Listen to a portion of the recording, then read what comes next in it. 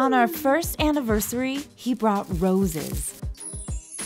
On our second anniversary, he brought diamonds. And on our last anniversary, he brought his girlfriend. So now I'm bringing his sorry butt to court. Divorce court.